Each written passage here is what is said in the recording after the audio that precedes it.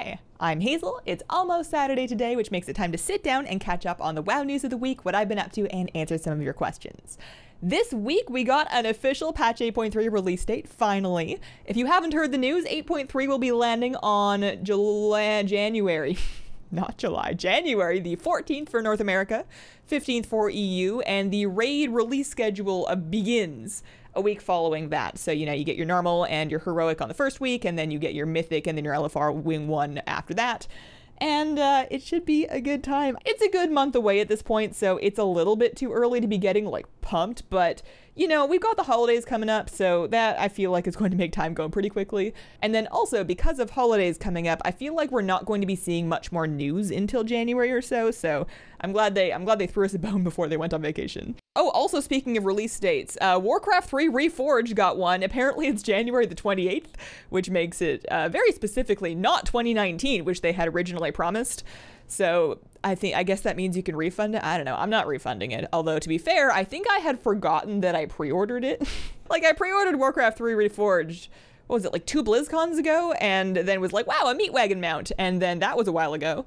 Uh, cool mount. Forgot about the game, so I'll be interested to try that out when January the 28th rolls around. In WoW announcements this week, they dropped that account-wide essences, but not really and by not really, I mean almost not at all. And by that, I mean, wow, it's almost petty that they bothered to do the tiny little bit that they did because people like, it's technically a good thing that happened, but it's such a tiny thing that everybody's just mad.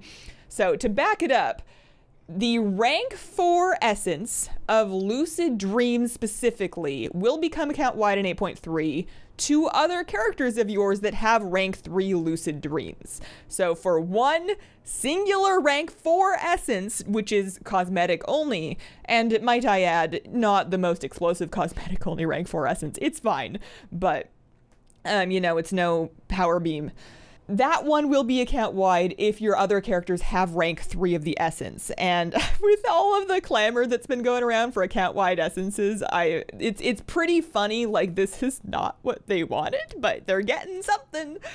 I've kind of written off the alt friendliness of Azerite essences. In my brain, it's kind of balanced out by the fact that it is fairly easy to catch an alt up in the other ways that you get an alt set up. Like the Azerite catch-up is pretty good. You can get to a functional state with your Heart of Azeroth level fairly easily with just world quests and emissaries. And then especially if you like throw in your three weekly islands, you're like good. And then gear, you know, if you do a couple Mythic Plus, you'll probably get set up with gear pretty quickly.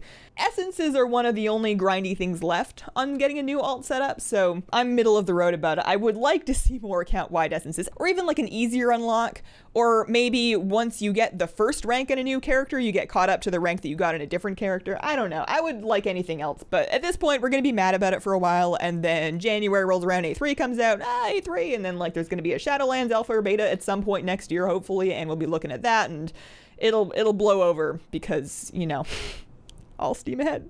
What you doing?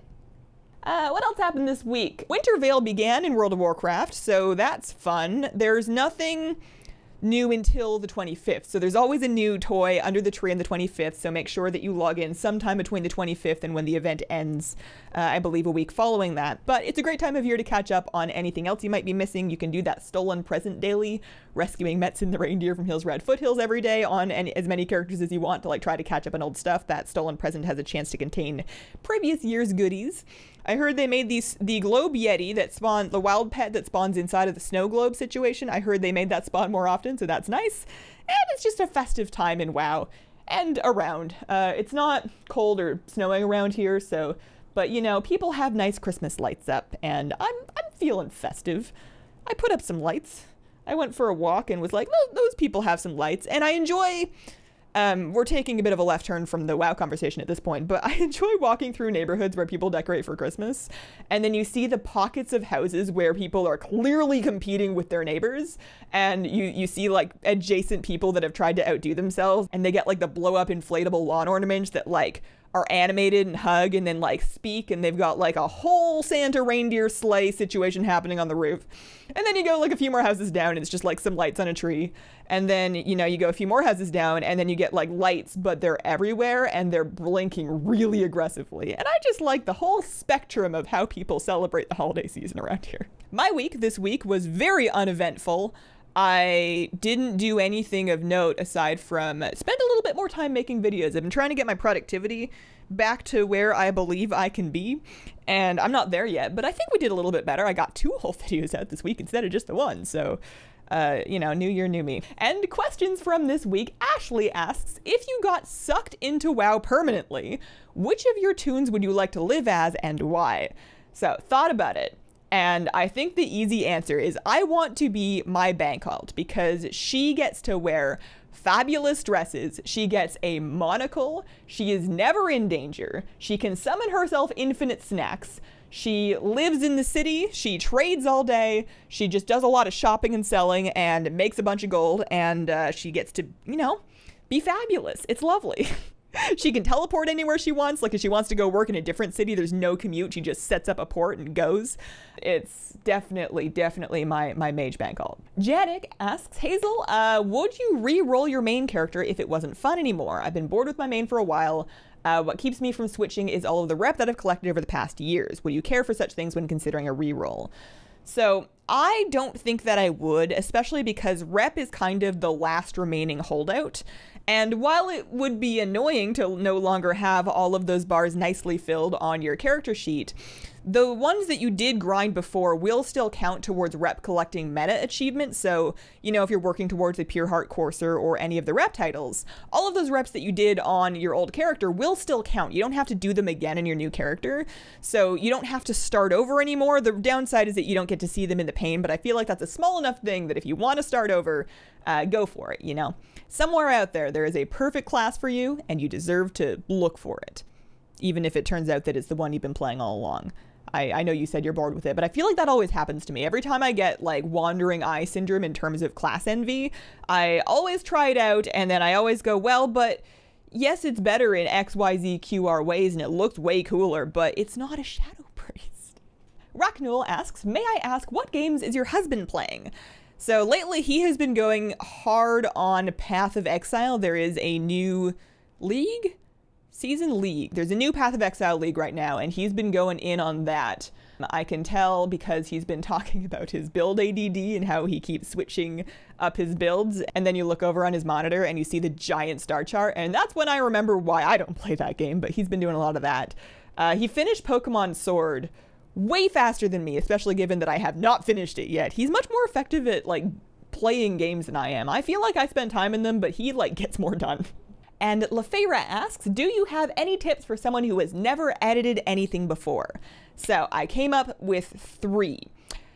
First one, learn your keybinds. Um, just like take a look through the keybinding menu. Don't feel like you have to memorize everything, but find the things that you do a lot, learn the keybind for them, and really practice using the keybind instead of clicking around because those good habits will save you so much time in the long run.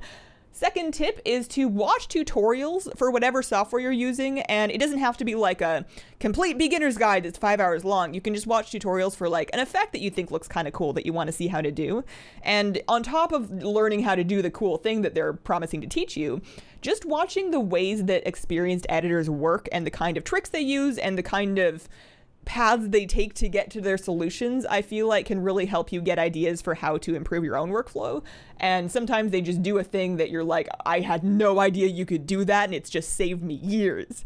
So, second one would be watching tutorials. And then third, as far as like a really specific thing, if you have not done so already, make friends with your Ripple delete key. Um, I had to move my keybind for it because I press it a million times a day. Ripple delete is the thing that will delete a selected clip and then take everything after that and then scooch it right back up above that most recent cut line and I do that a million times a day. So I actually put it on the third mouse button on my G600, just anywhere comfy, but make friends with that. I spent way too long like select and then delete and then select and then drag and then scooch when you can do all of that with just like a real quick button. So uh, yeah, Ripple deletes, good stuff. And that has been my week. Thank you very much for watching. Let me know what you think. Keep an eye on my channel for WoW videos. We're kind of ramping up the 8.3 previews, and then there will be raid guides coming out ahead of the Ny'alotha raid, which is coming in like five weeks or so, so soon. If you have any questions that you would like me to answer in a vlog, please leave them in the comments of the most recent vlog. Uh, Merry Christmas to all my fellow Christmas celebrators. That's on Wednesday, so that's happening. And I hope you guys have a wonderful, wonderful day.